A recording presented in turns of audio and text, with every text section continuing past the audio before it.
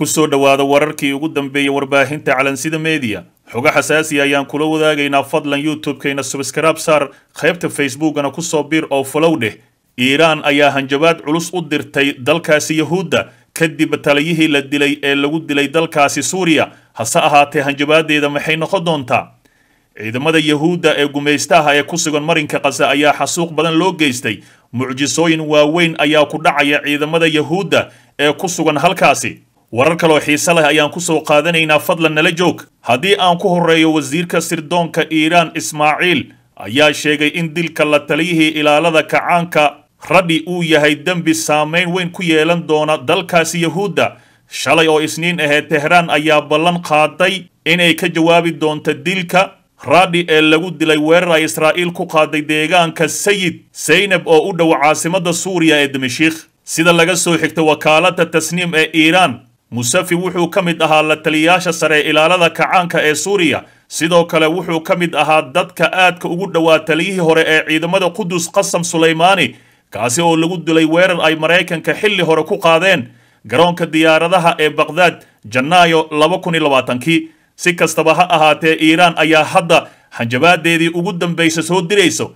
Hase ahaatee ilmaha iiraan ayaa hadda howlgalayo taas oo ah xuutiyiinta inay weerar qaadaan xisbullah ay weerar qaadaan sidoo kale kuwa ku sugan bakhdad iyo suuriya ayagana ay weerar ku qaadaan maraykanka iyo yahuudda. Sidoo kale hanjabaadyo culus ayaa ka soo baxaya ciidamada xuutiyiinta waxayna ku hanjabeen in ay samayn doonaan wax kasta oo suuragal ah oo lagu burburinayo maraykanka yahuudda iyo dalkaasi ingiriiska. Geesta kale xuutiyiinta oo weerar xooggan ku qaaday markab maraya baddaasi islamarkaasina u socday dalkaasi yahuudda ilaha maraakiibta yemen ayaa sheegay in kooxda xuutiyiinta ay beegsadeen markab lagu magacaabo m s ca ee marayay badda cas si ay uga hortagaan inuu u gudbo dalkaasi yahuudda. Horaantii maanta oo talaado ahayd hay'adda howlgallada ganacsiga badda ee britain ayaa sheegtay in ay heshay warbixin ku saabsan dhacdo u dhow markabkaasi islamarkaasina lixdan mayl u jiray xudaydah galbeedka yemen taas oo muujinaysa in uu gantaalka ku dhacay meel u jirta afar mayl islamarkaasina uu goobta isaga cararay. Waxaa isa soo taraya weerarada ay ku qaadayaan maraakiibta baddaasi adeegsanaya ciidamada xuutiyiinta dhinaca kale madaxa shaqaalaha israa'iil dagaalka wuu soconayaa bilaha soo socda ayuu yidhi madaxa shaqaalaha ciidamada difaaca israa'iil hersi dagaalku wuxuu sii socon doonaa dhowr bilood oo kale waxaannu uga shaqayn doonaa gasa siyaabo kala duwan ilaa xamaas laga burburiyo. Waxaan ku dagaalamaynaa xaaladihii ugu cakirnaa abid ayuu yidhi. Waxaan gaari doonaa hoggaanka xamaas. Hadday qaadanayso toddobaadyo ama bilooyin ayuu yidhi. Waxaan samayn doonaa wax walba oo suuragal ah ayuu yidhi. Si aan u soo ceshanno dadka naga afduuban ay xamaas hayaan. Geesta kale hogaamiyaha dhadhaqaaqa iska caabinta islaamiga xamaas. Osaama hamdan oo shir jaraa'id qabtay ayaa yidhi ilaa iyo hadda in ka badan kow iyo labaatan kun oo shahiid ah ayaa ku dhintay weerarkii gardarrada ah israa'iil soo qaaday iyadoo ay ku dhaawacmeen konton iyo afar kun oo shacab ahi. Gumaysigii naasiga wax hub ah kama tegin ayuu yidhi kulli waxa ay ku garaacayaan marinka khaza geesta kale ra'iisul wasaaraha israa'iil netanyahu ayaa sheegay in ciidamadu ay sii wadi doonaan dagaalka ayna sii xoojin doonaan dagaalka ka socda koonfurta marinka kasa iyo goobaha kale ayna dagaalami doonaan ilaa dhammaadka. Waa sida uu hadalka u dhigaye mar uu maanta hadlayay si kastaba ha ahaatee wadna xanuun ayaa ku dhacaya mar kasta markii uu muuqaalada xasuuqa arkayo. Saacadihii la soo dhaafay ururka alqasam ayaa soo bandhigay ciidamo badan oo xasuuqayaan kuwaasi oo kolonyo kolonyo u socday. Qaarkood ayaa la arkayay ayagoo guri ku jira islamarkaasina u diyaariyey miinooyin kuwaasi oo meel dheer laga hagaya kor ayay ka duubayeen. Xataa waxaa la arkayay ayagoo kaamirada kala socdo meel ay sii galayeen. Si kastaba ha ahaatee marba maalinta ka dambayso xasuuq ba'an ayay u geysanayaan. Saacadihii la soo dhaafay waxaa la sheegay in gawaari badan oo taangiye ah laga gubay ciidamada yahuudda dhimashada waa tirabeel qaab loo tiriya ayaa la la'yahay. Muuqaalada waa iska soo dabadhacayaan ay soo dirayaan ciidamada alqasam si kastaba ha ahaatee jabka xooggan ee mar kasta ciidamada gaaraya wadna xanuun ayay ku noqotay ra'iisul wasaaraha iyo madaxda dalkaasi yahuudda. Nin adduunyo joogo maxaa aragti ku laaban? Arrin la yaab leh oo ka dhacday gudaha magaalada muqdisho ayaan kula wadaagayaa.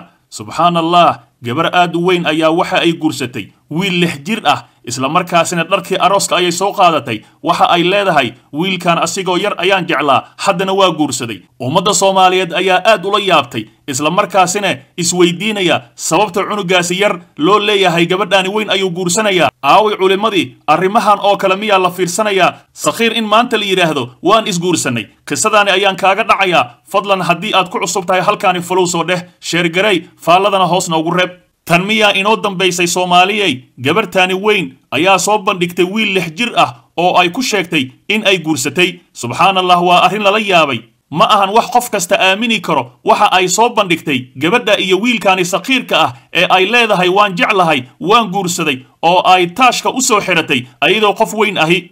Gabadhaani oo waraysi dhiibtay ayaa ummadda soomaaliyeed ay la yaabtay gabartan oo wiilka xambaarsan ayaa tiri yaraantiisii ayaan jeclaa waxaana ii ballan qaaday waalidkiisa. Haddana anigaa korsanaya oo aan guursaday ayay mar kale tidhi gabadhaani oo sii hadlaysa ayaa tidhi canugaani markii la dhalay goobjoog ayaan ahaa markaas ayaan jeclaaday. Waxaan dhahay wallaahi wiilkaani waa jeclaaday markaa waanba sugi waayey ayay tidhi inta uu soo weynaanayo hadda waxaan u guursaday inta hartay in aan laabtayda ku koriyo ayay sii raacisay. Hadda waa lix jir laabtayda ayaan ku korinayaa yaraantiisa ayaanba jeclaa ayay tidhi.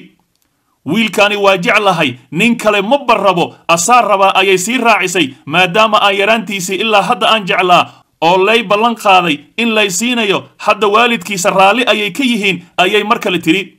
Waan jeclahay wiilkan laabtayda inaan gashto ayaan rabaa mar kasto ayay tidhi ugu dambayntii waxay sii raacisay hadalkeeda soomaaliyay dhaafa buuqa canugan laabtayda ayaan ku korsanayaa waana jeclahay gabadhaani oo wejigeeda laga dareemayay in ay issoo diyaarisay islamarkaasina taashka ay soo xiratay gacantana ay ku qabsatay fiyoorihii guurka islamarkaasina wiilkii ayay soo ximbaarsatay mar kale oo muuqaal laga duubay ayaa wiilkii yaraa laga hadal siiyey waxaana lagu dhahay dheh qoftan waa jeclahay ee faraha igaga qaada subxaan allah ugu dambayntii wiilkaani ayaa la yidhi hadal oo dheh waan jeclahay gabadhan ee faraha iiga qaada.